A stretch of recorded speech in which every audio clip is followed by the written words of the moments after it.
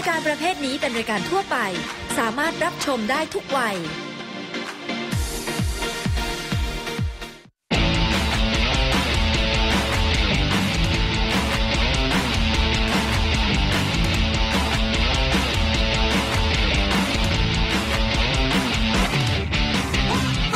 ริงไซด์สังเวียนหุ้น สนับสนุนโดยธ นาคารอาคารสงเคราะห์ TPI โพลีนจำกัด มหาชน เราสร้างอนาคต สวัสดีครับท่านผู้ชมครับ ขอต้อนรับเข้าสู่รายการ Ring s i ซ e สังเวียนหุ้นนะครับ วันนี้แหละครับเราจะมาคุยเกี่ยวกับเรื่องของการวิเคราะห์ทางเทคนิคครับ หลายคนอยากรู้ว่าการวิเคราะห์ทางเทคนิคคืออะไร จะเริ่มต้นอย่างไร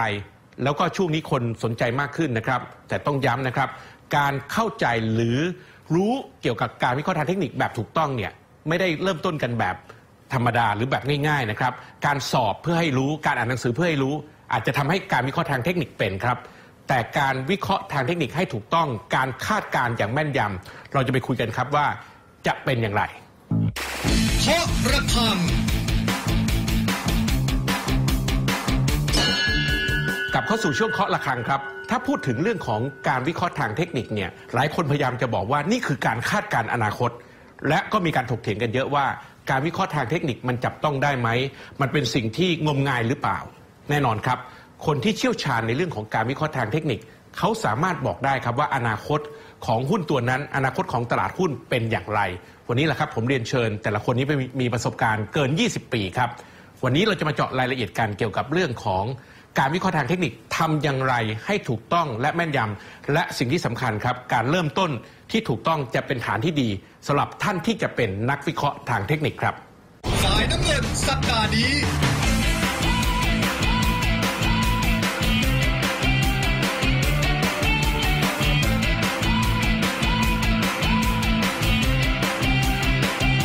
ฝ่ายแดงสัปดาห์นี้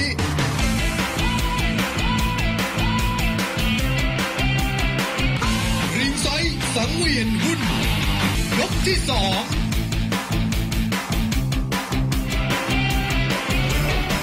เข้าสู่ยกที่ 2 นะครับ อย่างที่ผมเกริ่นไว้ในช่วงแรกก็คือว่า การพัฒนาการในเรื่องของการวิเคราะห์ทางเทคนิคในเมืองไทยเนี่ยต้องบอกว่ามีความเข้มข้นขึ้นมาเรื่อยๆนะครับและสิ่งที่เราเห็นก็คือว่า ล่าสุดมีการพูดถึงการวิเคราะห์ทางเทคนิคในหลาย ๆ มุมมอง วันนี้แหละครับผมจะมาคุยต้องบอกว่าเป็นผู้เชี่ยวชาญการวิเคราะห์ทางเทคนิค และเป็นเซียนการวิเคราะห์ทางเทคนิคในเมืองไทยระดับต้นๆนะครับและทำมานานประสบการณ์แต่ละท่านเกิน 20 ปีอยู่แล้วนะครับวันนี้เราจะมาฉายภาพว่าจริง ๆ แล้วเรื่องของการวิเคราะห์ทางเทคนิคมันเป็นอย่างไร มาที่คุณปอดัชนีก่อนครับคุณปอครับอยากให้เล่าเรื่องพัฒนาการเรื่องการวิเคราะห์ทางเทคนิคปูพื้นก่อน เพราะว่าคุณปอผมว่าอยู่ในวงการเกิน 25 ปีอยู่แล้วครับนะครับเชิญเลยฮะคือจริงๆ ถ้าเรามองเรื่องของการวิเคราะห์ปัจจัยทางเทคนิคนี่นะคครัรับบคงจะแบ่งได้เป็นสองฝ่ายครับ ฝ่ายแรกก็คือเป็นเรื่องของเทคนิคของทางญี่ปุ่นอืมที่เราเรียกว่า Japanese candlestick ครับเอ่ออีกซีกหนึ่งก็คือซีกของตะวันตก ซึ่งเป็นเรื่องของการวิเคราะห์bar chart แล้วก็เส้นค่าเฉลี่ยเคลื่อนที่เส้นแนวโน้มรวมไปถึงพวก oscillator ครับนะฮะครับเอ่อในในส่วนของกราฟแท่งเทียนเนี่ยนะครับ ถ้าเราดูเนี่ยเราจะพบว่ากราฟแท่งเทียนเนี่ยนะครับ เกิดขึ้นมาในศตวรรษที่ 17 ครับนะฮะ เอ่อเกิดขึ้นก่อนทางความรู้ทางซีกตะวันตกอืมนะฮะเอ่อจนกระทั่งกราฟแท่งเทียนเนี่ยมีการพัฒนามาในช่วงศตวรรษที่ 18 แล้วตอนหลังเนี่ยนะครับมี trader ชาวสหรัฐเนี่ยเข้าไปทำงานที่ญี่ปุ่นครับเขาไปศึกษามาอืมแล้วก็เห็นว่ามันเป็นเครื่องมือที่ใช้อธิบายเรื่องของจิตวิทยาการลงทุนได้ครับ Steve Nison ก็เลยกลับมาเขียนเป็นความรู้ของญี่ปุ่น แต่เป็นภาคที่เป็นเป็นวิชาการของเล่มสีซีโรแดงๆใหญ่ๆหรือเปล่าใช่ครับอ๋ออันนี้หนังสือเล่มนี้นานมาก อันนี้ถือว่าเป็นมาตรฐานในการวิเคราะห์ของการแท่งเทียนครับเขียน Japanese candlestick ครับอ่าแล้วก็มีเล่มที่สองก็คือ Beyond ครับ Candlestick ครับนะครับเอ่อเอ่อในส่วนของซีกโลกตะวันตกเนี่ยเอ่อเริ่มต้นเลยเนี่ยเราก็จะใช้พวก point figure ครับนะซึ่งเกิดขึ้นหลังจาก Japanese Candlestick เนี่ยประมาณสักร้อยปีครับนะเอ่อหลังจากนั้นก็มีการพัฒนา ความรู้เรื่องปัจจัยพื้นฐานเนี่ยคนที่เป็นแม่บทในการนำปัจจัยทางเทคนิคมาใช้เนี่ยก็คือครับ Charles Dow ครับคนที่ตั้งทฤษฎี Dow Theory ครับ ซึ่งผมคิดว่าอันนี้เป็นทฤษฎีที่นักวิเคราะห์รุ่นหลังๆนำมาใช้เป็นแม่บทในการครับวิเคราะห์นะฮะในขณะเดียวกันเนี่ยรวมไปถึงคลื่น Elliott Wave เนี่ยก็มีการอ้างอิงว่าพื้นฐานของ Elliott Wave เนี่ย มาจาก Dow Theory Dow Theory แล้วก็ K-Wave อืมรวมไปถึงตัวเลขฟิโบนัชชีนำครับครับ กลับมาที่คุณกฤติก่อนเมื่อสักครู่นี้คุณปอเขาปูแล้วว่าจริง ๆ การวิเคราะห์ทางเทคนิคของโลกเป็นยังไง คุณกฤติจากประสบการณ์เนี่ยการวิเคราะห์ทางเทคนิคในเมืองไทย เพราะว่าผมว่าคุณกฤติน่าจะอยู่ในวงการเกินอายุสามสิบปีไม่ไม่ครับยี่สิบครับ20กว่าใช่ไหม20กว่านะครับ การพัฒนาการมันเป็นยังไง เท่าที่คุณเห็นมาการใช้การวิเคราะห์ในทางเทคนิคในเมืองไทยเป็นยังไง จะให้เอามุมมองไหนครับ ในมุมในภาคปฏิบัติหรือว่าในทางภาคปฏิบัติเลยอ่าภาคปฏิบัติผมคิดว่าเอ่อประการแรกเลยอาจจะคือผมอาจจะค่อนข้างเอ็กซ์ตรีมนิดหนึ่งนะครับครับคือเอ่อวิธีการตัวตำราเนี่ยครับมันไม่ค่อยเปลี่ยนอืมแนวทางเนี่ยที่เขาเคยปูมายังไงเนี่ยครับเราก็สอนกันมาแบบนั้นอืมยากนักที่ว่ามีบางคนเนี่ยเขาอาจจะครับไปศึกษาแล้วไปไป test เพิ่มอืมแล้วไปปรับครับ พวก oscillator พวก indicator ต่างๆ ให้มันเหมาะสมขึ้นครับแต่ถ้าไม่มีการปรับแล้วหลายคนก็ไปคิดว่ามันเป็นตำราที่อาจจะดูแล้วเหมือนงมงายอืมแต่จริงๆ แล้วมันเหมือนกับว่าการเข้าป่าเนี่ยมีมีดครับมีอาวุธเนี่ยอืมดีกว่าไปตัวเปล่าอืมและที่สำคัญมากเนี่ยผมอยากจะเน้นโดยภาคเอ่อกว้างก่อนนะครับครับว่า เวลาเราบอกว่าใครสวย เวลาเราบอกว่าใครหล่อครับมันไม่มีตัวเลขอืมแต่ว่าในทาง take action แล้วเนี่ยความคมความแม่นเนี่ย มันต้อง indicate ลงไปชัดเจน เพราะฉะนั้นตัวการวิเคราะห์ทางเทคนิคเนี่ยมันจะบ่งบอกตัวเลขในการตัดสินใจซื้อขาย เพราะฉะนั้นมันมีความจำเป็นมากเอ่อในสมัยก่อนเนี่ยตอนนั้นเนี่ยการวิเคราะห์ทางเทคนิคเนี่ยก็เป็นตำราไทยๆที่ผมอ่านเนี่ยก็มีทั้งเอ่อดรสมชายของดรนัสสิรินะครับครับที่แปลมาจากของต่างประเทศบ้าง Elliott Wave บ้างนะครัครับบเอ่อหลังจากนั้นเนี่ยสมัยนั้นเนี่ยการวิเคราะห์ทางเทคนิคถ้าเราดูจากเซตอินเด็กอย่างเดียวครับนะครับ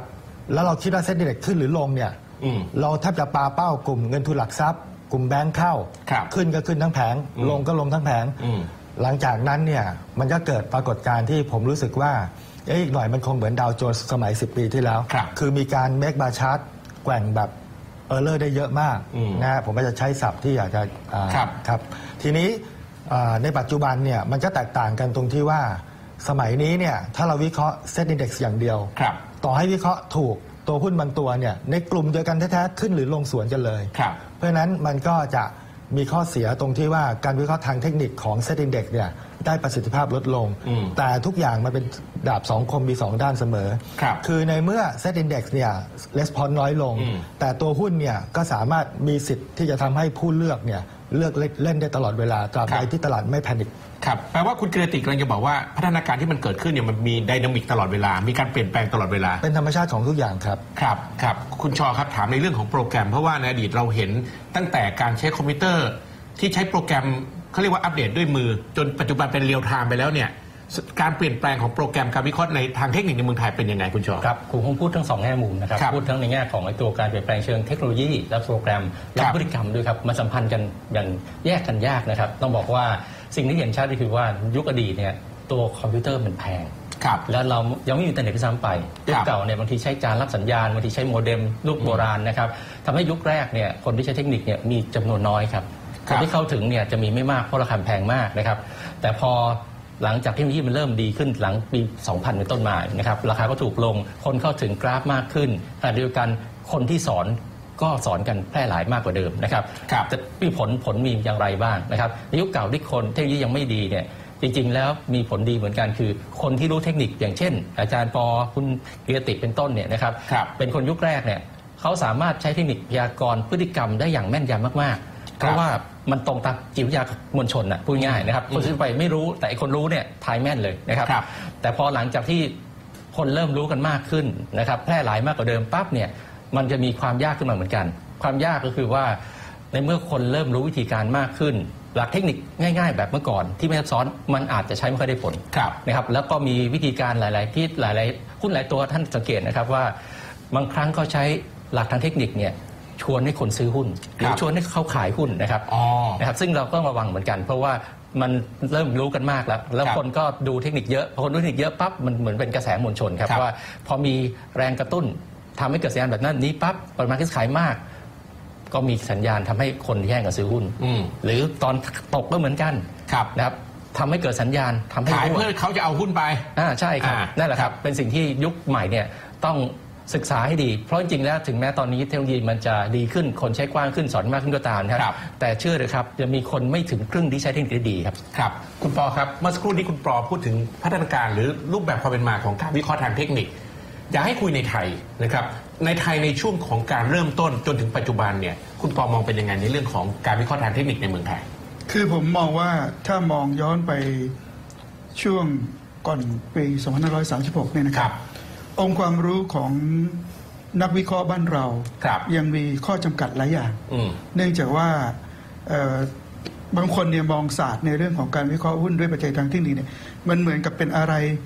ที่จับต้องไม่ได้เชื่อถือได้เขาบอกงมงายนะบางคนมองเป็นเออไสยศาสตร์ก็มีเออเออ นะฮะในขณะเดียวกันแต่แปลกนะคุณปอ คนที่บอกเมื่อก่อนบอกงมงายนะ ตอนนี้พยายามที่จะมาสอบเอาลายเส้นการวิเคราะห์ทางเทคนิค ผมก็ไม่เข้าใจว่าเกิดอะไรขึ้น อ่า คือแต่แต่ตอนหลังเนี่ย พัฒนาการเรื่องของความรู้ปัจจัยทางเทคนิคเนี่ยมันครับเพิ่มขึ้น ครับ เพราะว่าการจะเข้าถึงหนังสือการวิเคราะห์หุ้นเนี่ยมันก็ง่ายขึ้น ครับ เพราะว่านักวิเคราะห์บางคนเนี่ยก็ไปแปลภาษาอังกฤษมาเป็นภาษาไทยอืม ทำให้นักลงทุนที่ไม่ค่อยชอบอ่านภาษาอังกฤษ หรือมีเวลาน้อยเนี่ยครับสามารถใช้เวลาอันจำกัดเนี่ยเข้าถึงภาษาไทยได้อืม นะฮะแล้วนักวิเคราะห์หลาย ๆ คนก็มีองค์ความรู้จบระดับ การเงินมาด้วย ครับและพอมาเรียนปัจจัยทางเทคนิคก็ก็ใช้เสริมร่วมกันได้อืมนะครับ แล้วอย่างที่คุณชอได้พูดไว้ว่า ครับ ทั้งนักวิเคราะห์แล้วก็นักลงทุนเนี่ยเราเข้าถึงเทคโนโลยีอืม คอมพิวเตอร์ได้ง่ายขึ้น ครับ เพราะฉะนั้นการเรียนรู้เดี๋ยวนี้มันไม่ได้จำกัดเฉพาะในหนังสืออมเราสามารถผ่านเรียนรู้ผ่านเอ่อทางเว็บไซต์ ผ่านทาง social network YouTube นี่ก็มีการสอนครับนะฮะเพียงแต่ว่าผู้ที่เข้าไปศึกษาเนี่ยต้องตระหนักก่อนว่าสิ่งที่เราไปรู้เนี่ย มันใช่หรือไม่ใช่มันจริงหรือไม่จริงใช่ เพราะว่าอ่าในบางครั้งเนี่ยมันมันก็อาจจะไม่สมบูรณ์ครับนะฮะแล้วที่สำคัญคือไม่ว่าเราจะเรียนรู้ปัจจัยทางเทคนิคยังไงก็แล้วแต่ สิ่งที่จะต้องเอามาเป็นประสบการณ์จริง ๆ ก็คือ คุณจะต้องเอาไปใช้อย่างมีประสิทธิภาพครับ ไม่ใช่จับประเด็นมาเพ่งประเด็นเล็กน้อย อืม แล้วก็คิดว่าอันนี้แหละใช่ ครับ ที่สุดมันก็ล้มเหลว ครับพอล้มเหลวปุ๊บก็เลยกลายว่าปัจจัยทางเทคนิคเนี่ยเชื่อถือไม่ได้ อืม และอย่างหนึ่งที่ผมอยากจะเรียนก็คือว่า ปัจจัยทางเทคนิคเนี่ยจากประสบการณ์ผม 20 กว่าปีเนี่ยครับ ผมคิดว่าเชื่อถือได้ ครับ เพียงแต่ว่านักลงทุนหรือนักวิเคราะห์จะต้องเข้าใจว่า ปัจจัยทางเทคนิคเนี่ยมันจะเชื่อถือได้เมื่อตลาดนั้น เป็นตลาดเสรีโดยสมบูรณ์ครับ ต้องปัดจากการแทรกแซงครับ แต่ปัจจุบันนี้เนี่ยนะครับสิ่งที่นักลงทุนเห็นเนี่ยว่าทำไมดาวโจนส์มันขึ้นเยอะแยะเลยอืมนะทำไมตลาดหุ้นทำท่าจะลงแล้วก็ไม่ลงครับนะฮะตลาดยุโรปบอกไม่ดีอืมแต่ก็ขึ้นมากกว่าจีนที่บอกเศรษฐกิจดีกว่าอืมเป็นเพราะว่าสภาพคล่องอืม QE นะฮะครับอย่างสหรัฐอเมริกาฉีดเงินสหรัฐเนี่ยอัดฉีดเข้ามา 3.5 ล้านล้าน US ดอลลาร์อืม เมื่อเร็วๆนี้จีนประเอ้ยญี่ปุ่น ครับ ประกาศว่าจะซื้อพันธบัตร ครับ 80 ล้านล้านเยน ครับเพิ่มสิ่งเหขึ้ล่านนี้ จากเดิม สิ่งเหล่านี้คือทำให้ตลาดการค้าเนี่ยถูกสภาพคล่องเนี่ยมาเป็นตัวทำให้ภาพทางเทคนิคเนี่ยมันเพี้ยน ครับ แต่ยังเชื่อว่ายังใช้ได้ ใช้ได้ครับครับ เพียงแต่ว่าเราจะต้องปรับการวิเคราะห์เนี่ยไปตามกระแสของตลาดด้วยครับนะครับ ครับ เพราะคุณเอ่อ ถ้าคุณเอกสังเกตดูสมัยที่เราเกิดต้มยำกุ้งเนี่ยอืมตอนนั้นต่างประเทศเนี่ยต้องมาบอกนะว่า เราเกิดวิกฤตทางด้านเศรษฐกิจเนี่ยเราต้องเข้มงวดเรื่องการใช้จ่ายครับ ต้องปรับดอกเบี้ยให้สูงอืมนะฮะไม่ควรจะปล่อยกู้อืมแต่ปัจจุบันนี้พอสหรัฐอเมริกาเกิดเรื่องโอ้โหอัดเงินเข้าระบบเต็มที่เออคือเป็นคนละเรื่องกับสิ่งที่นักวิชาการเราเนี่ยไปเรียนมาจากอคเมรับริกาครับเพราะฉะนั้นเราถึงบอกว่าต้องปรับครับนะฮะครับ คุณกิรติครับ ถ้าเขามาถามคุณกิรติว่าในเรื่องของการเริ่มต้นในเรื่องของการเรียนการวิเคราะห์ทางเทคนิคเนี่ยเขาจะเริ่มด้วยแบบไหน แล้วก็ทำยังไงถึงให้ประสบความสำเร็จคุณกิรติจะตอบว่ายังไง อ่าแล้วแต่เวลาที่จะพูดนะครับ แต่ครับ ถ้าเอาจุดเริ่มต้นตรงครับ ๆ ก็คือหาข้อมูล เกี่ยวกับตำราทางเทคนิคอืมเสร็จแล้ววิธีการของผมเนี่ยจะต่างกับของคนอื่นครับก็คืออันนี้อาจจะไม่ไม่ไม่ใช่ basic ทั่วไปนะครับอืมแต่ว่าถ้าใครชอบก็ไปลองดูคือครับจับผิดครับ จับผิดหมายถึงจับผิดครับจับ ผิดตำราทั้งหมด อ๋อ จับผิดตำราทั้งหมด ใช่ครับอืมบางคนบอกว่าต้องศรัทธาเลยอืมแต่ผมเป็นคนที่ดื้อมาตั้งแต่เด็ก คือครับถ้าหากว่าเราศรัทธาเนี่ยในจิตใต้สำนึกเรามันไม่ศรัทธาจริง มันจะไม่ work นี่เวลาเราทำอะไรเนี่ย จะจะทำอะไรในตัวนั้นจะทำอาชีพไหน เราต้องศรัทธามันจริง ครับวิธีการเดียวที่จะศรัทธาสำหรับผมเนี่ย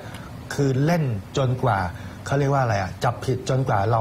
คิดว่ามันดีดีจริง ๆ ในสายตาเราเราถึงจะยอมมัน ก็คือพูดง่ายๆคือดูว่ามันมีข้อบกพร่องตรงไหน แล้วถ้าเกิด ใช่ครับ ถ้าเกิดเราหามันไม่เจอเราถึงจะศรัทธามันและชอบมันถูกไหมใช่ครับ ซึ่งจริง ๆ แล้วผมอยากจะเล่าเรื่องนี้นิดนึง อ่าเชิญครับ ก็คือว่า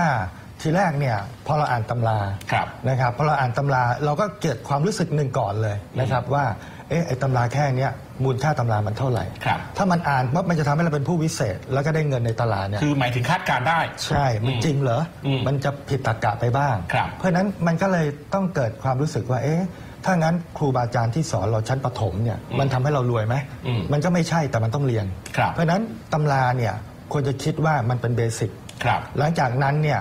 มันเป็นเรื่องของไหวพริบอืมไหวพริบของผมที่ผมใช้ก็คือว่าจับผิดว่า มันมีอะไรที่ควรไปดัดแปลงหรือไปเพิ่มเติม ครับเพราะว่าเนื้อหาแค่นี้มันต้องไม่ทำให้คนรวยแน่เพราะไม่งั้นทุกคนต้องรวยหมดครับประมาณนั้นนะครับ อืม เพราะฉะนั้นเราก็เริ่มดูว่าแต่ละบรรทัดที่เขาเขียนเนี่ยในขณะที่เราจับผิดเนี่ยนั่นคือการรับฟังไปด้วย ครับการรับรู้อย่างซึมซับจริง ๆ ไม่ใช่อ่านแล้วหลับไป เพราะเราครับมีหน้าที่จับผิดมัน อืมหลังจากนั้นเราก็มาดูว่าไอ้ที่เขาบอกอย่างเงี้ยอย่างเงี้ยไปเทสดูของจริงว่าจริงไหมครับ หลังจากนั้นเราก็ไปดูว่าสมมุติ อนาคตยังไม่เกิด เราย้อนกลับไปดูชาร์ตได้ครับนะครับแล้วก็พิจิตล่วงหน้าว่าเป็นไปตามไหมครับเป็นไปตามที่มันน่าจะเป็นไหมครับเอ่อผลที่ตามมาแน่นอนครับก็คือเราอาจจะตื่นเต้นบ้างบางจุดอืมเราจะพบกับความผิดหวังบ้างบางจุดอืมแต่เราต้องเข้าใจธรรมชาติของของโลกอย่างหนึ่งว่า มันไม่มีอะไรที่พิจิตได้ร้อยเปอร์เซ็นต์ครับสิ่งหนึ่งที่นักลงทุนเอ่อผมอาจจะข้ามไปนิดนึงนะครัครับบคือ ต้องระวังก็คือว่าถึงเราสมมุติว่าเราพิจิตแม่นแล้ว 80%ครับไอ้ยี่สิที่ผิดเนี่ยทำเราวอดวายได้ ครับ เพราะฉะนั้นเอ่อมุมมองเทคนิคเนี่ยมันจะเปลี่ยนไปจนซึ่งซึ่งผมไม่ทราบว่าเดี๋ยวจะมีคำถามนั้นไหมครับนะครับว่าพัฒนาการทางเทคนิคเนี่ยมันมีความหมายว่าอะไรกันแน่ มันใช้พิจิตหรือว่ามันใช้สร้างกลยุทธ์กันเอแน่อมาแช่อะไร เอ่อถ้าพูดถึงมุมส่วนตัวผครัม บตอนแรก ๆที่เข้ามาเนี่ยอืมใฝ่ฝันอยากจะเป็นนักเอ่อ นักทำนายระดับโลกครับนะครับแล้วก็คิดว่าอะไรที่เราทำนายไม่ได้เราจะไม่นอนเลยครับเราจะคิดหาทางจนออก แต่ว่าพอเราทำนายไปทำนายไป เราก็พบว่าเอ่อถ้าหากว่าเป้าหมายของเราเนี่ยในการใช้ตำราทางเทคนิคครับเอาไว้ทำนายครับคำถามกลับนะครับคุณเอกพิทยาครับตกลงเรามาทำนายหรือว่าเรามาหาเงินครับอืมมันเกิดคำถามว่าถ้านักลงทุนเนี่ยต้องการมาซึ่งจริง ๆ เราต้องการหาเงินกำไร อ่าเพราะว่าจะหลงทางไปนานไปพิจิตอยู่นานนะครับอืมหลังจากนั้นเมื่อเราเปลี่ยนโฟกัสว่าครับเราต้องการกำไรอืมมันก็จะเกิดคำถามที่ว่าเราจะบล็อกขาดทุนยังไงอืมเมื่อมันก็เกิดเป็นการสร้างกลยุทธ์แทนครับเทคนิคในรูปแบบใหม่ที่ที่ผมใช้เนี่ยอืมจึงค่อนข้างจะไปเน้นในทางสร้างกลยุทธ์ครับ ไม่ว่ามันจะไปทางไหนเนี่ยเรามีครับทางออกของมันเหมือนเราเหมือนเราขับรถเนี่ยเราจะจะขับรถจากกรุงเทพไปชนบุรี อืมแต่ตอนนี้เราอยู่กรุงเทพครับเป้าหมายเราอยู่ชนบุรี ครับแต่แต่ละนาทีที่เราดูเราดูแค่ร้อยเมตรแรกครับแล้วไปเรื่อยๆอย่างต่อเนื่อง ถ้าเราดูถึงชนบุรีเราชนตั้งแต่ตรงนี้ครับ เพราะฉะนั้นเทคนิคก็เหมือนกันคือการสร้างกลยุทธ์ต่อเนื่อง ครับ เปลี่ยนรูปแบบมาเป็นทางการสร้างกลยุทธ์ ครับ เพราะว่าถ้าเป็นรูปแบบทางคือผมจบทางด้านการเงินด้วยครับ นะครับเอ่อถ้าหากว่าเราเคยเรียนพูดไหนเคยเรียนแพทย์ด้วย จบการเงินด้วยพูดละอายครับอ่าคุณไม่เอ่อเรียนไม่ไม่ไม่จบฮะครับคือเอ่อถ้าฟันเดเมนทัลเนี่ยมันเปลี่ยนช้าครับแต่ราคามันเปลี่ยนทุกวันครับนั้นความแม่นยำก็เหมือนเรายิงปืนเหมือนทุกอย่างมันต้องมีสามเหลี่ยมอะไรใช่ไหมครับครับมีจุดเล็งเพราะฉะนั้นจุดเล็งเนี่ยเราต้องหาและตัวเลขที่เป็นตัวเลขเนี่ยมันก็ได้จากทางเทคนิคครับเพราะฉะนั้นเราก็มาสร้างกลยุทธ์ครับเมื่อเราเอาเทคนิคมาสร้างกลยุทธ์เนี่ยอืมความผิดหวังก็ไม่เกิดครับครับ เดี๋ยวนะครับท่านผู้ชมยังไม่จบนะครับเดี๋ยวช่วงหน้าอาจจะคุยกับคุณชอเพิ่มเกี่ยวกับเรื่องโปรแกรมด้วยนะครับว่า โดยการเริ่มต้นเนี่ยเราควรจะใช้โปรแกรมยังไง เริ่มต้นยังไง แล้วก็จะถามทั้งสามท่านครับว่าถ้าทุกคนสนใจการวิเคราะห์ทางเทคนิคจะเริ่มยังไงครับสิ่งที่สำคัญนะครับผมย้ำไว้ตั้งแต่ช่วงแรกก็คือว่า ทุกวันนี้มีการใช้การวิเคราะห์ทางเทคนิคแบบผิดๆเยอะครับและหลายคนก็ไม่รู้จริงนะครับการเริ่มต้นที่ถูกต้องนั่นคือสิ่งที่ท่านต้องทำครับ เดี๋ยวเราพักกันสักครู่ฮะช่วงหน้ามาคุยกันต่อครับริงไซสังเวียนหุ้น ยกที่สาม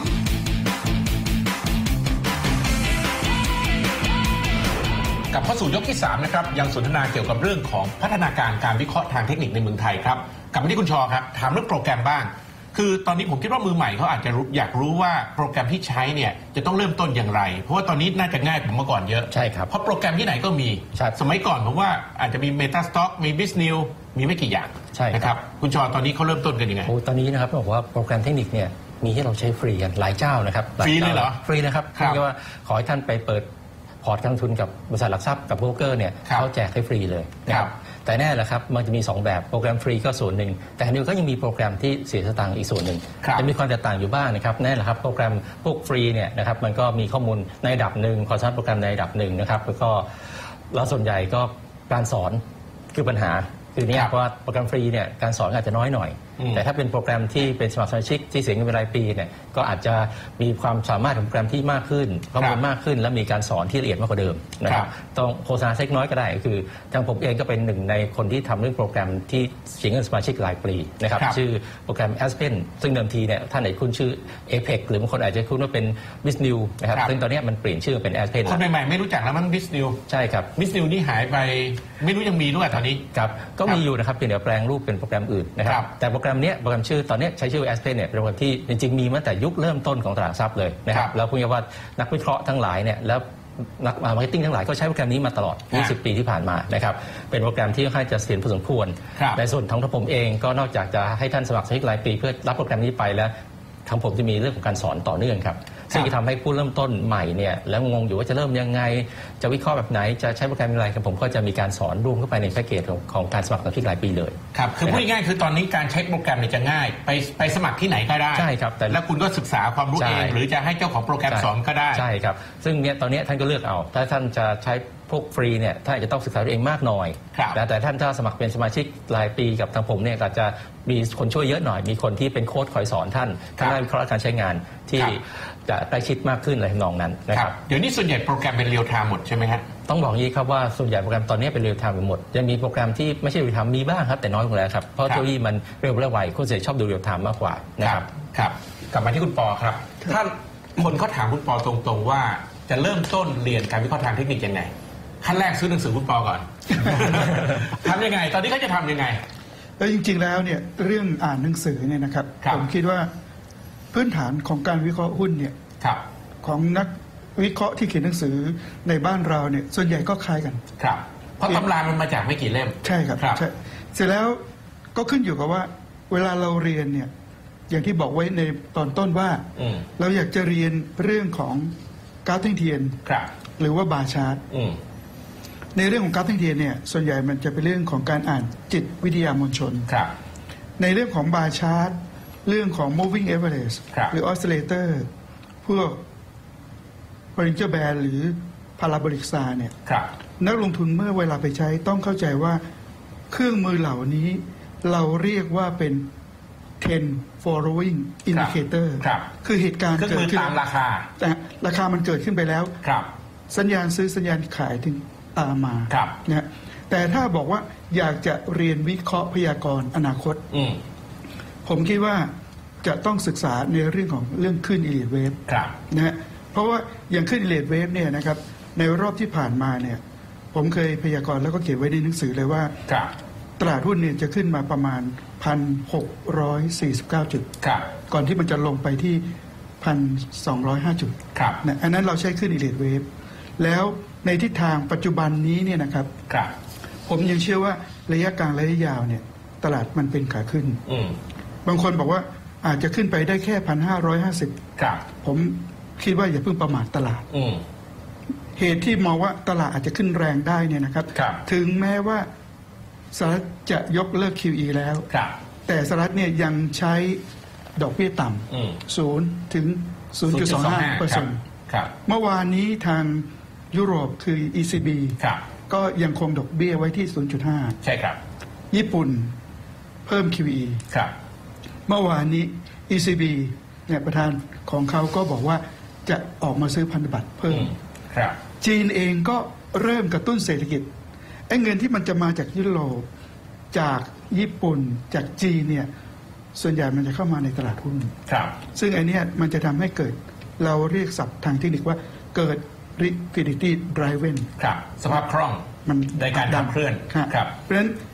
นักลงทุนถ้าเกิดเข้าใจเรื่องทางเทคนิคดีแล้วอืมแล้วอยากจะลงทุนจริงๆเนี่ยให้ใช้ปัจจัยพื้นฐานเป็นตัวเลือกสรรหุ้นครับ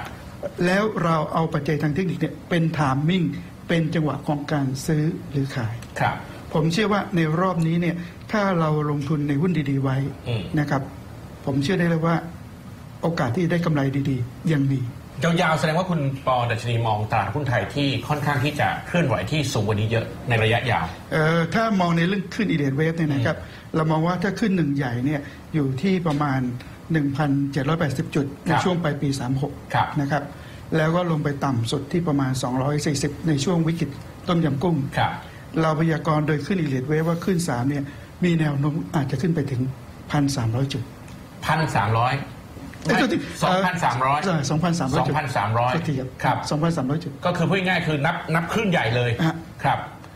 เอ่อในในบางช่วงเนี่ยมันมันมันนับได้สองแบบ บางแบบเนี่ยนับไปถึง3,000จุดยังมีเลยฮะเหรอฮะอ๋อเพราะฉะนั้นในช่วงที่เราดูดูกันคุยคุยกันเนี่ยคุณปอก็ยังยังห้าสิบเจ็ดใช่ไหมฮะปีนี้ ในห้าปีนี้เนี่ยเราเห็นแน่สองพันกว่าเออผมเชื่อได้ว่าเห็นนะอ่าเห็นนะครับไอ้ที่ประมาณว่าแถวพันหกร้อยเนี่ยนะฮะครับ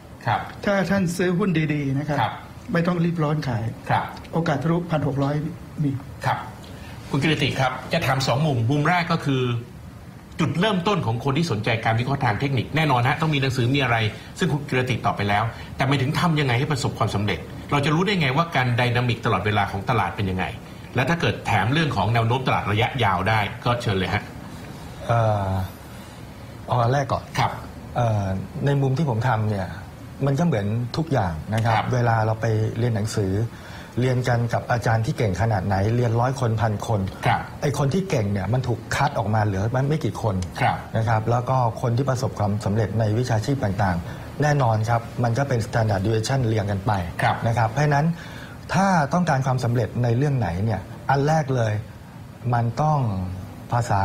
อะไรเดี๋ยวใช้ดีว่าดีไซน์ต้องมีความปรารถนาที่แรงกล้าก่อน ครับ ถ้าหากว่ามันไม่มีไฟมันก็เหมือนสิ่งที่ไม่มีแบตเตอรี่ อืมมันไม่มีตัวผลักครับดังนั้นต้องถามตัวเองก่อนว่าเราอยากจริงๆไหมอืม แล้วถ้าจะใช้คำให้ตรงเนี่ยถ้าต้องการเก่งเรื่องนั้นเนี่ยมันต้องกระสันต้องฝักใฝ่ ครับ นะฮะคือต้องฝักใฝ่กับมันนะครับ เหมือนตาเราเนี่ยเรามองได้กว้างแต่จริง ๆ แล้วมันโฟกัสได้จุดเดียวครับเพราะฉะนั้นในตอนที่เราเริ่มฝึกทางเทคนิคเนี่ยเราจะต้องฝักใฝ่หนักหน่อย อืมเป็นสิ่งแรกเลยที่เราต้องทำครับถ้าถ้าเกิดว่าเราไม่ได้เอาจริงกับมันเนี่ยแน่นอนว่า มันไม่มีของฟรีในโลก ครับไม่เหนื่อยมันก็ไม่ได้นะครับ อืม เพราะฉะนั้นเอ่ออย่างอย่างที่ผมก็คือก็คือฝึกดูวันละอย่างน้อยชั่วโมงหนึ่ง ครับ แล้วก็ฝึกพยากรณ์ อืม ฝึกพยากรณ์ว่า เอ๊ะ ถ้าชาร์ตเป็นอย่างนี้นะ ครับแล้วแต่ว่าใครจะดู candle หรือว่าใครจะดู bar chart นะครับ ครับซึ่งเทคนิคสำเร็จรูปเนี่ยหรือหรือพวก candlestick หรือว่าทุกเอ่อที่เป็นสำเร็จรูปหรือ oscillator เนี่ยครับ เอ่อมันก็ คือจริงๆผมเล่นกล้องไม่เก่งนะครัแต่บมันก็เหมือนกับเกียร์ธรรมดากับเกียร์ออโต้ครับเหมือนกับกล้องที่อัตโนมัติกับอัตโนมัติอืมมันเกิดคำถามที่ว่าอะไรดีกว่ากันอืมนะครับ มันก็คล้าย ๆกับว่า ถ้าเราเริ่มต้นเลยอืมเราก็ใช้อัตโนมัติครับแต่พอเราไปถึงจุดหนึ่งอัตโนมัติมันเริ่มไม่มันเริ่มขัดใจละครับเราก็กลับไปใช้ สิ่ง Manual ที่เป็นเรียกว่าแมนนวลหรือว่า price pattern ล้วนครับๆเพราะว่าสิ่งที่ซ่อนอยู่ในธรรมชาติอะมันอยู่ที่ตรงนั้นครับและที่ผมกำลังจะเรียนให้ทราบก็คือความเก่งอยู่ที่ในมุมของผมเนี่ยคือไม่ได้อยู่ที่ oscillator เนื่องจากอ่าทางคุณปอก็ได้พูดไปแล้วว่า oscillator ส่วนส่วนใหญ่เนี่ยมันเป็นการ flow follow ตลาด follow trend อยู่แล้วนะครับครับถ้าต้องการ predict เนี่ยมันต้องค้นหาสิ่งที่ละเอียดกว่านั้นครับการค้นเนี่ยก็ต้องไปหาจุดที่เป็น basic ที่สุดครับก็คือชาร์ตครับ ชาร์ตเท่านั้นครับได้แก่เช่น basic ก็กลับไปที่ price pattern ครับตัว price pattern มีความสำคัญมากครับนะครับซึ่งในมุมของผมเนี่ยผมชอบที่จะพูดอะไรที่เหมือนพูดครับนะฮะคือไม่ได้เปล่าๆ เพราะฉะนั้นผมฟันธงว่า price pattern สำคัญกว่าอ่าพวก oscillator ครับแต่ไม่ได้หมายความว่า oscillator ใช้ไม่ได้ครับนะครับอ่าแล้วก็เรื่องของคลื่นต่างๆเนี่ย ก็ควรจะสนใจ อืม แต่เมื่อเอามาปฏิบัติแล้วเนี่ยพบปัญหาอย่าท้อครับ นะครับเอ่อใช้หลักง่าย ๆ อิทธิบาทอืม 4นะครับซึ่งเอ่อคนที่เขามีอิทธิบาทสี่ในใจอยู่แล้วอะมันก็ไม่ต้องไปพูดถึงอิทธิบาทสี่ครับส่วนคนที่ไม่มีอิทธิบาทสี่อะพูดไปมันก็ไม่มีอิทธิบาทสี่อ่า อืม เพราะฉะนั้นมันก็เข้าข่ายตรงที่ว่าความพยายามอยู่ที่ไหน ความพยายามเอ้ยไม่ใช่ความสำเร็จอยู่ที่นั่นนะคครัรับบเพราะฉะนั้นก็อยู่ในคร่าวๆก็คือ เน้นไปทางไพร์แพทเทิร์นเยอะครับ แล้วเรื่องของแนวโน้มตลาดล่ะฮะมองเป็นยังไง ในระยะกลางถึงยาว ๆเอ่อผมเชื่อว่าการที่ดาวโจนส์เนี่ยลงไปข้างล่างระดับนั้นเมื่อช่วงที่ผ่านมาไม่นานนะครับ ครับ แล้วตีกลับขึ้นไปจนดิวไฮแล้วผมเนี่ยมองด้วยวิธีการทางเทคนิคนะครับ ครับทางทางรูปแบบของห่างเสงอืม ก่อนหน้าที่เขาจะมีประท้วงอืม นะครับเอ่อแม้ตีการตีกลับลงมาเนี่ยขณะนี้เนี่ยได้กลับมาฟื้นบ้าง ครับ แล้วก็ มันทำให้หน้าฝนเนี่ยเราไม่สามารถบอกได้ว่าเป็นวันไหน ครับแต่เราบอกได้คร่าวๆว่าหน้าฝนอยู่ช่วงไหน ครับ ความหมายก็คล้าย ๆกับว่าเทรนด์ของตลาดโลกเนี่ยไม่ได้เป็น bearอืม นะครับในเมื่อไม่ได้เป็น bear เนี่ยแม้แต่ญี่ปุ่นเนี่ยคราวนี้ก็ลุ้นว่าจะเกิด bull ไหมแต่แต่ญี่ปุ่นนี่ bear นานมากนะครับครับเพราะฉะนั้นโดยทั่วๆไปเนี่ยของฮั่งเส็งแล้วก็ดาวโจนส์เนี่ยยังเป็นขาขึ้น อืม แล้วรูปแบบของเซตเนี่ยในปัจจุบันเนี่ยก็ไม่ได้บอกว่าเป็นขาลง ครับ คำตอบง่ายๆก็คือ เล่นไปเรื่อยอืม ๆ เล่นไปเรื่อยๆ แล้วก็ไปถึงไหนก็ไปถึงกัน ครับแต่ปัญหาก็คือว่าขณะนี้เนี่ยดาวโจนส์ขึ้นมาเยอะ ครับ เราเล่นไปเรื่อยๆเนี่ยเอ่อจุดที่เรียกว่าลงทุนเนี่ยควรจะรอการถอยหลังกลับครับปรับฐานของดาวโจนส์ก่อน อืมแล้วเมื่อเมื่อดาวโจนส์ปรับฐานแล้วเนี่ยครับเราไม่รู้หรอกว่าดาวโจนส์ปรับฐานถึงตรงไหนแต่เราไม่ต้องทราบ แต่เมื่อไหร่ก็ตามที่เซ็ตอินเด็กถอยลงมาได้ระดับหนึ่งครับแล้วเริ่มเกิดการกระเตื้อง อืมทางเทคนิคอาจจะมี สัญญาณระดับนาทีครับแล้วเราก็เข้าไปแล้วก็ตรงนั้นนะลงทุนแล้วก็เผื่อแบบที่อาจารย์ปอว่าคือเผื่อมันไปไกลครับครับครับ แต่ไม่ได้บอกตัวเลขว่าจริง ๆ แล้วมันจะไปเท่าไหร่เอ่อผมคาดหวังว่าเซ็ตจะวิ่งเกินนิวไฮในภายในเมื่อไหร่ครับอืมเพราะมันมันง่ายๆ ปีนี้มันจะหมดแล้วมันก็ต้องก็ปีหน้านะครับผมก็คือเกิน 1,783หรือเปล่าเอ่อตัวนั้นผมไม่ได้ทำการบ้านมาครับครับแต่แต่ที่มันง่ายหน่อยก็คือตัวเซตที่ว่าจะถอยเนี่ย มันมี2เอเรียนะครับ และเดี๋ยวนี้ตัวเลขเนี่ยมันกลมมาก ครับมันลงด้วยประมาณ 5 กับลงที่ด้วยเลขศูนย์สมัคยรับสิบกว่าปีที่แล้วมันไม่ใช่ เดี๋ยวนี้ครับมันจริง ๆ เลยมัน 5 กับศูนย์เลยนะคครัรับบ ก็คือเอ่อถ้ามันถอยลงมาเนี่ยประมาณ 1,561 60อะครับ1,570 72 ครับแถวนี้ก็เริ่ม selective ได้ ครับครับครับอ่า คุณชอครับ ครับถามเรื่องแนวโน้มตลาดบ้างเมื่อสักครู่นี้คุยเรื่องโปรแกรมแล้วครับคุณชอมองแนวโน้มตลาดเป็นยังไง เพราะว่าเราคุยกันหลายรอบคุณชอบอกว่าไตรมาสสี่เนี่ยสองเดือนเนี่ยพันหกร้อยสิบเห็นแน่ไตรมาสหนึ่งปีหน้าพันแปดเห็นแน่ ครับ มองยังไงซึ่งยังยืนยันย้อนตลาดนะครับก็พูดง่ายๆว่าจริง ๆ แล้วเนี่ยจริงๆนะฮะก็พูดเรื่องไอ้ indicator เล็กน้อยแล้วกันนะครับครับต้องบอกอย่างนี้นะครับว่าต้องหลายๆท่านเนี่ยที่เป็นคนที่เข้ามาเรียนเรื่องเทคนิคใหม่ๆเนี่ยครับมักพยายามแสวงหาที่มันซับซ้อนและยากๆครับอืมคือพยายามกระโดดไปหาไอ้ที่มันที่ว่าดีสุดอะนะครับครับที่ว่าจะดีสุด แต่ปัญหาของคนที่เพิ่งเริ่มต้นใหม่เนี่ยครับอเหมือนพื้นฐานไม่แน่นครับครับแล้วพยายามจะไปหาที่ซับซ้อนเนี่ยอืมแล้วทำให้สุดท้ายท่านก็ล้มเหลวแต่ต้นอ่านะครับจริงเครื่องมือ ธรรมดาธรรมดาเนี่ยนะครับครับเส้นค่าเฉลี่ย MACD Stochastic RSI พวกเนี้ยเป็นสิ่งที่ท่านควรจะฝึกดูไว้บ้างนะคครัรับบแต่ท้ายที่สุดเนี่ยก็เหมือนกระติครับ ก็ต้องฝึกให้ชำนาญเรื่องไพ p a t t e r n ด้วยครับหรือเอาเทรนไลน์ประกอบด้วยก็ยิ่งดีครับนะเพราะทุกอย่างมันผสมพุทเปกันหมดครับแต่ถ้าดูภาวะปัจจุบันนะครับเราเห็นชัดเลยว่าตลาดเป็นอย่างขึ้นอย่างชัดเจนก็คือ มันค่าเฉลี่ยมันเห็นชัดแล้วราคาหุ้นค่าเฉลี่ยหมดทุกเส้นจะเป็น 50 25จะเป็น200ครับพ้นหมดในเส้นเด็ก แล้วก็เป้าณปัจจุบันเนี่ยมันเหมือนพยายามพักตัวครับพักตัวไปหาแนวรับที่คุณติว่าแหละครับ1570 1560เนี่ยนะตอนนี้ก็ทรงๆนี้ถ้าทรงๆนี้อีกสักพักเดียวเนี่ย เดี๋ยวสัปดาห์หน้าก็ขึ้นแหละครับถ้าขึ้นแล้วก็มาแหละรูปไพแพทเทิร์นเป็นรูปบางคนอาจบอกว่าเป็นรูปธงนะเป็นธงก็ได้ หรือบางคนจะมองเป็นรูปหัวกับไหล่ก็ได้หัวไหครัล่บหัวกลับก็ได้นะฮะซึ่งเป้าเนี่ยมันชัดเจนว่ามันทะลุพันหกอยู่แล้วชัวร์ๆแต่ว่าอาจจะขึ้นไปถึง 1650ครับอย่างชัดๆนะครับซึ่งครับ1650เนี่ยก็ยังตอกย้ำว่าปลายปีนี้มันมีโอกาสสูงที่จะเห็นครับครับคำถามสุดท้ายนะครับถามทั้งสามท่านอาจจะเริ่มที่คุณชอก่อนจะได้เรียงกลับมาเนี่ยนะครับคำถามง่ายๆครับครับอยาก คนที่เขาอยากประสบความสำเร็จในการวิเคราะห์ทางเทคนิคเนี่ยครับ เขาจะต้องทำยังไง เอาสั้นๆ เลยที่เป็นขอบเขตที่เขาจะต้องทำคุณชอเชิญครับ ศึกษาครับนะครับเรียนรู้จากด้วยตัวเองก็ได้อ่านตำราด้วยก็ได้ ครับเรียนจากอาจารย์บางหลาย ๆ ท่านก็ได้นะครับแต่ศึกษาแล้วไม่พอศึกษาแล้วต้องมาฝึกฝนอย่างที่คุณติว่าต้องฝึกฝนอย่างจริงจังด้วยช่วงแรกเนี่ยสำคัญเลยครับครับ ศึกษาฝึกฝนในการดูกราฟในการทำนาย ให้เวลากับมันอย่างน้อยก็ชั่ววันละหนึ่งชั่วโมงนะฮะ คุณต้องฝึกฝนเนี้ยจนกระทั่งพยากรณ์เริ่มแม่นขึ้นเรื่อยๆหรือเริ่มเข้าใจเทคนิคมากเรื่อยครับรู้จุดอ่อนจุดแข็งของแต่ละตัวนะครับครับ แล้วก็รู้กลยุทธ์ต่างๆ ของหุ้นแต่ละตัวว่ามันมีพฤติกรรมแบบไหนนะครับครับ ทำไปบ่อยๆ เยอะขึ้นเยอะขึ้นเนี่ยความชำนาญจะเพิ่มขึ้นมาเองครับ ครับ ฝึกฝนนี่สำคัญสุดครับ ครับ คุณกิรติครับคำถามเดียวกันครัเมื่บอกี้คำถามเนี่ยก็คือว่าต้องการให้เป็นหรือว่าต้องการให้เก่ง ต้องการให้เก่งฮะ ถ้าต้องการให้เก่งของผมก็จะสั้นมากคือ คนเราโฟกัสอะไรก็ได้อย่างนั้นครับเพราะฉะนั้นก็ต้องโฟกัสเอ่อการวิเคราะห์ทางเทคนิค ถ้าแปลให้มันหนักแน่นก็คือต้องมีไฟแล้วก็เอ่อมีความฝักใฝ่ในเรื่องนี้ในช่วงสตาร์ทเนี่ยค่อนข้างตั้งใจมีความปรารถนาที่รุนแรงที่อื่นอย่างอื่นตามมาเอง ครับ ครับ ครับครับคุณปอครับคำถามเดียวกันฮะ คือผมคิดว่าถ้าเราอยากจะเป็นนักลงทุนที่ประสบผลสำเร็จเนี่ยนะครับครับต้องมีความเชื่อว่าการใช้เครื่องมือเทคนิคเนี่ยช่วยเราได้ครับแต่ถ้าจะให้ดีเนี่ยควรจะเลือกสรรลงทุนในหุ้นที่มีพื้นฐานด้วยครับอย่าไปเก็งกำไรแบบประเภทร้อยเปอร์เซ็นต์อืมนะเพราะว่าหุ้นเก็งกำไรเนี่ยโอกาสเสี่ยงสูง ครับ ครับพูดง่ายๆก็คือต้องใช้ปัจจัยพื้นฐานมาเกี่ยวด้วยใช่นะครับครับท่านผู้ชมครับ วันนี้ผมนำเรื่องมุมมองการวิเคราะห์ทางเทคนิคมาให้ท่านพิจารณานะครับ และการวิเคราะห์ทางเทคนิคชัดเจนนะครับ ท่านอยากเก่งอยากเป็นและวิเคราะห์ให้ถูกต้องเนี่ยนะครับ ต้องฝึกฝนฮะ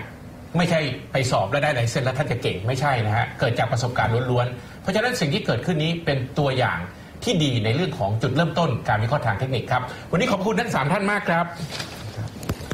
แล้วก็ช่วงหน้าครับ เรามาวิเคราะห์กันครับว่าทิศทางตลาดหุ้นไทยในระยะสั้นจะเป็นอย่างไร อีกสักครู่ครับริงไซต์สังเวียนหุ้นเทคนิคพิชิตหุ้น ลับเข้าสู่ช่วงสุดท้ายนะครับของเทคนิคพิชิตหุ้น ถ้าพูดถึงเรื่องของภาพของระยะกลางแล้วเนี่ยจริง ๆ แล้วช่วงปลายปีทุกครั้งเขาจะมีการพูดกันนะครับว่าทิศทางตลาดหุ้นไทยในช่วงปลายปี และช่วงปีหน้าจะเป็นอย่างไร โจทย์ใหญ่ๆที่เกิดขึ้นเนี่ยผมเชื่อว่าหลายคนพยายามตั้งความหวังว่าปีหน้ามีแนวโน้มเป็นอย่างไรครับ จริง ๆ แล้วผมก็ไม่ได้ขัดนะครับว่าอยากให้ตลาดหุ้นดี หรือตลาดหุ้นไม่ดี คือคนที่ทำงานอยู่ในธุรกิจหลักทรัพย์อยากให้ตลาดหุ้นดีอยู่แล้วครับแต่ถ้าลองตั้งจุดสังเกตครับ ทุกๆ ปีที่มีการคาดการไว้ สิ่งที่เกิดขึ้นอาจจะแตกต่างจากการที่คาดการนะครับลองย้อนปีที่แล้วไป ทุกคนก็บอกว่าปีนี้ไม่น่าจะดี เพราะว่าบรรยากาศของปี 56 ไม่ดีเลย หุ้นลงโดยตลอดนะครับและเป็นการลงครั้งแรกในรอบ 4-5 ปี ปรากฏว่าปี 57 ทั้งปีเนี่ยดีเกือบทุกเดือนฮะหุ้นขึ้นโดยตลอดณจุดนี้มีหลายคนพยายามตั้งเป้าหมายว่าปีหน้าตลาดหุ้นมีแนวโน้มจะดีด้วย 3-4 เหตุผล 1. เศรษฐกิจฟื้นตัวครับ 2. มีการใช้จ่ายภาครัฐ 3. เรื่องของการเปิด AEC 4. มีเรื่องของกำไรบริษัทจดทะเบียน ทุกคนประเมินดีหมดนะครับแต่ผมอยากให้ดูเป้าหมายหรือการเคลื่อนไหวของตลาดนิดหนึ่งครับ ลองดูกราฟครับ สิ่งที่เราเห็นนะครับ นี่คือกราฟของเซ็ตอินเด็กล่าสุดแต่เป็นรายวิกฤตสัปดาห์นี้เราพูดรายวิกฤตกันนะครับ ท่านจะเห็นว่าจุดสูงสุดของรอบที่แล้วอยู่พันหกับพันหกสมมติเราดูว่าจุดสูงสุดรอบนี้นะครับอยู่บริเวณเดียวกันพันห้าหรือพันหกนะครับ แรงกระแทกที่เกิดขึ้นเนี่ยมันจะกระแทกกระแทกลงคล้ายๆตัว M ครับเหมือนปากกาที่ผมลากลงมา ถ้าไม่ผ่านเนี่ยนะครับ มันจะทำให้ทิศทางในปีหน้าลงทั้งปีเลยฮะเพราะมันจะเป็นภาพที่เราเรียกว่า double top ภาพเดียวกันนี้นะครับอย่าเพิ่งเปลี่ยนภาพนะครับ เราจะเห็นภาพที่เคยเกิดขึ้นแล้วในอดีต เห็นไหมครับ ในอดีตจุดตรงนี้ก็มีการลงแรงเหมือนกันนะครับ แต่ในอดีตจุดตรงนี้ก็มีการขึ้นแรงเหมือนกันตั้งแต่ปี 2009 เป็นต้นมา เพราะฉะนั้นปีหน้าผมกลับประเมินในเรื่องของทิศทาง หรือการเคลื่อนไหวของเซ็นดิเด็กอาจจะไม่เหมือนกับที่คนคิดไว้ครับ ทุกคนบอกว่าจะเพิ่มขึ้นได้ เพิ่มขึ้นเล็กน้อย เพราะแนวคิดที่เกิดขึ้นง่าย ๆ ครับ ถ้าเชื่อว่ากำไรบริษัทจดทะเบียนโต 10-15%และเอา PE ของตลาดที่ 15 เท่าตั้ง ตอนนี้ 16 เท่ากว่า ก็จะทำให้ PE ของตลาดเนี่ยลดลงเหลือประมาณ 14 เท่า และเราเรตติ้งไปที่ 15.5 เท่า มันบวกกลับเข้ามาก็จะได้เซ็นดินเด็กที่1,700กว่าเท่านั้นเองครับ อันนั้นคือแนวคิด แต่สิ่งที่เกิดขึ้นเมื่อดูจากการเคลื่อนไหวของกราฟแล้ว ไม่เหมือนที่คิดนะครับ ผมกำลังจะเรียนว่าภาพลักษณะเช่นนี้ดีๆเลยครับ แย่ๆเลยเรามาดูปัจจัยอื่นๆครับภาพนี้เป็นภาพของดัชนีดาวโจนส์ในระยะกลางถึงยาว สิ่งที่ท่านเห็นนะครับ ดาวโจนส์จากจุดตรงนี้นะครับ ขึ้นมาโดยตลอดฮะจากประมาณ 6,000 ไปเกือบ 18,000นะฮะท่านฟังไม่ผิดนะฮะจาก 6,000 กว่าไป 18,000ครับ เกือบเกือบหมื่นแปดแต่สิ่งที่ท่านเห็นตัว RSI ที่อยู่ข้างล่างเนี่ยนะครับ จะเห็นว่ามีการปรับตัวลดลงมาโดยตลอด เพราะฉะนั้นสิ่งที่เราเห็นก็คือว่าการปรับตัวลดลงของ RSI เนี่ยเป็นสัญญาณเตือนว่ารอบนี้ยังไงก็จะมีการลงแรงครับ ถึงแม้ล่าสุดยังไม่มีการลงแรง ส่วนภาพสุดท้ายสิ่งที่เราเห็นก็คือว่า ทิศทางหรือตัวแปรสำคัญของตลาดหุ้นไทยต้องพึ่งด้วยกลุ่มพลังงาน พอพูดถึงกลุ่มพลังงานก็ต้องพูดถึงปตทครับ ปทภาพนี้เป็นภาพการทดสอบแนวต้านใหญ่ของการเคลื่อนไหวของราคาหุ้นปตทครับ คือจากจุด 370 380 ถ้าคราวนี้วิ่งจะไปไฮเดิมเลยฮะ ใกล้ๆ 450 แต่ถ้าไม่วิ่งนี่พูดถึงระยะหลายเดือนนะครับ จะกระแทกลงมาต่ำกว่า 300 ใหม่ นี่คือภาพระยะ 3-4 เดือน ผมกำลังจะสรุปให้ท่านผู้ฟังนะครับ ทราบอย่างนี้ครับว่า แนวคิดการเคลื่อนไหวของทิศทางของราคาหุ้นในปีหน้า ผมไม่ได้มองว่าเซ็ตจากพันหจะไปพันเกว่า แต่ผมกำลังจะมองว่าถ้าตลาดดีพันแปกว่าเห็นแน่ครับ แต่ถ้าตลาดไม่ดีจะคว่ำมาเป็นลักษณะตัวเอ็มจะเห็นตัวเลขพันสเลย สิ่งที่ท่านจะต้องทำในปีหน้าเนี่ยจะแตกต่างกว่าแนวคิดที่ทุกคนประเมินนะครับ ผมอยากให้ทุกคนชะลอการลงทุนในบริเวณปัจจุบัน และลองดูต้นปี ถ้าขึ้นนะฮะ เช่นผ่านพันหกร้อยพันหกร้อยห้าสิบให้ซื้อตาม จะแพงกว่าตอนนี้แน่นอน แต่จะไปพันแปดกว่าครับ แต่ถ้าลงอย่าไปซื้อฮะ เพราะมันจะเป็นลักษณะตัว M คว่ำพอตัว M คว่ำมันจะเห็นตัวเลขพันสองจุด นั่นจะเป็นตัวแปรที่จะทำให้ตลาดปีหน้าอาจจะแย่ทั้งปี เพราะฉะนั้นปีหน้าผมกลับมองว่าตลาดหุ้นไทยดีๆ เลย แย่ๆเลยนะครับอาจจะแตกต่างกว่าทุกคนที่คิดว่าอาจจะเห็นตัวเลขพันเจ็กว่า สุดท้ายครับสำหรับท่านที่ว่างนะครับเสาร์ที่ 29 พฤศจิกายนนี้จะมีงานสัมมนาประจำเดือนโดยปกติเราสัมมนาเสาร์แรกของทุกเดือนเนี่ยนะครับ แต่เสาแรกในเดือนธันวาคมเป็นลองวิกเอนครับ เราจะกระเจิบมาวันที่ 29 ครับ ท่านที่สนใจนะครับ โทรไปที่เบอร์ 081 783 8888 นะครับ วันเสาร์ที่ 29 9โมงครึ่งที่สมาคมสิทธิ์เก่าธรรมศาสตร์ ซอยงามดูพีนะครับ พบกันแล้วไปคุยกันว่า ไอ้คำว่าดีๆเลย แย่ๆเลยเป็นอย่างไร วันนี้เวลาของรายการหมดลงแล้วครับ พบกันใหม่ในสัปดาห์หน้านะครับ สัปดาห์นี้ลาไปก่อน สวัสดีครับ